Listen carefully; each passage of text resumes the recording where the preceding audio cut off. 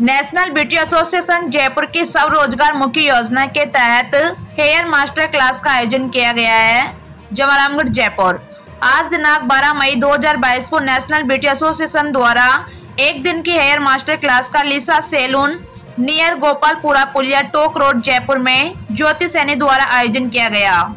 National beauty association की सब रोज़गार मुखी योजना के तहत हेयर मास्टर क्लास का आयोजन किया गया है इसके लिए हेयर आर्ट प्रशिक्षण हेतु अजहर खान द्वारा प्रशिक्षण दिया गया। तथा नेशनल ब्यूटी एसोसिएशन द्वारा सभी को परिणाम पत्र दिया गया। संस्था का मुख्य उद्देश्य विभिन्न समाज एवं देश के लोगों को प्रशिक्षित करके स्वरोजगार एवं आत्मनिर्भर बनाना है। इसी अवसर पर संस्था के पद अधिकारी व संस्थापक नवरत्न सैनी, महामंत्री संगीता शर्मा, कोषाध्यक्ष आशा नैनवानी व रामजीलाल मीणा उपस्थित रहे। सभी ने नेशनल ब्यूटी एसोसिएशन को धन्यवाद दिया।